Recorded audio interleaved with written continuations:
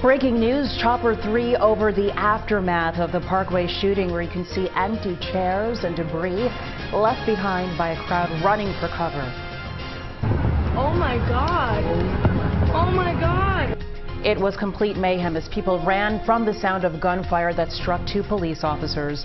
And we've just learned that 44-year-old John Foster, a deputy from the Montgomery County Sheriff's Office, was one of those two officers shot last night. He was grazed in the shoulder and is recovering at home this noon. And a Philadelphia Fire Department Highway Patrol officer also recovering at home this afternoon after being grazed in the head in the shooting last night. Good afternoon to you, everybody. I'm Janelle Burrell. Welcome to CBS 3 Eyewitness News at noon, streaming live on CBS News Philly. At this hour, we can tell you the search is still on for the shooter involved. The Fraternal Order of Police now offering a $20,000 reward for any information leading to an arrest. And we're going to take you out live to the Ben Franklin Parkway where the fireworks display was interrupted by gunfire last night. And this is still a very active crime scene at this hour hour. Eyewitness News reporter Joe Holden joining us live from the Parkway with the latest in this ongoing investigation. Joe, you've been following this from the start. What can you tell us at this point? Yeah, well, Janelle out here right now, technically the largest crime scene possibly Philadelphia has known. Primary question right now for investigators. Was this shooting one of a targeted nature or was this random where the shooter was simply firing at will, possibly even into the air? Again, that is very much in play at this noon hour. Police do tell me right now sources have largely dispelled any suggestion the shooter sought high ground, that this was some sort of potentially a sniper setup. They are ruling that out at this time. I'm told police have yet to recover shell casings that matched the bullets. Now, both officers, as we've been reporting, were treated and released from the hospital last night, something the Fraternal Order of Police calls a miracle.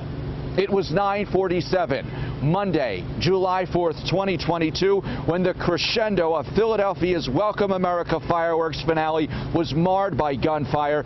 Two officers hit as fireworks continued to launch in the background, creating an unbelievably chaotic atmosphere for spectators and police. At times, police thought they were dealing with an active shooter situation as tens of thousands of people, including children, scattered for their lives. Radio transmissions revealed a distressed and confused confused operation as officers asked for the relay of information and instructions. Commanders told police to simply move the crowd east which would be into Center City in the direction of City Hall. We are aware, unaware, make that of any injuries to people. One of the wounded officers has been identified as 44-year-old John Foster, a deputy from Montgomery County Sheriff's Department. Revised information released today reveals the department tells us he was grazed in the shoulder and not shot, as had been initially stated by investigators. The highway patrol officer from Philadelphia Police was grazed in the head.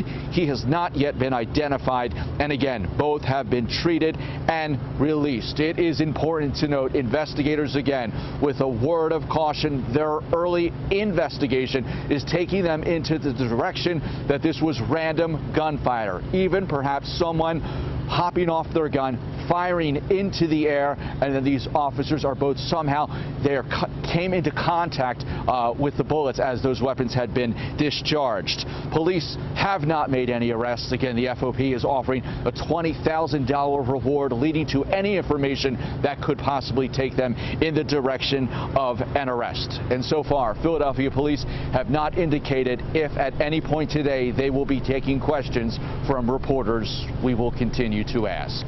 We're live along the parkway for now. Joe Holden, CBS 3 Eyewitness News. All right, Joan, we know you'll stay on top of this as we hope to get more information from investigators in this case. Thank you for that report. And now we want to show you this incredible image. This is the Philadelphia Highway Patrol officer had. He was the one who was grazed in the head by the bullet that ended up lodged in this cap here which you can see at the top right corner of your screen. There's also inside that hat a memorial card for the late Father Steve Wetzel.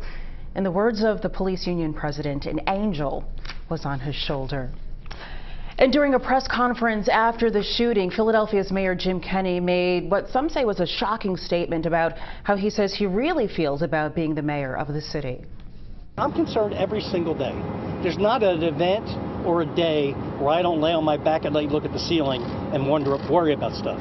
So everything we have in the city uh, at, over the last seven years, I worry about. I don't enjoy Fourth of July. I don't enjoy the, the, the Democratic National Convention. I didn't enjoy the the uh, um, uh, NFL draft. I'm waiting for something bad to happen all the time. So it's I'll be happy when I'm not here, when I'm not mayor, and I can enjoy some stuff. Uh, You're looking forward to not being mayor? Yeah. Well, after that news conference last night, Mayor Kenney tweeted, quote, I love this city. And as mayor, there's nothing I want, nothing more I want than to help solve this problem and keep our residents and visitors safe. And on Twitter, we asked our viewers what you think the mayor, about the mayor. Should he resign after what he said during last night's news conference? So far, nearly 79% of people who responded said yes, he should resign. About 21% said no.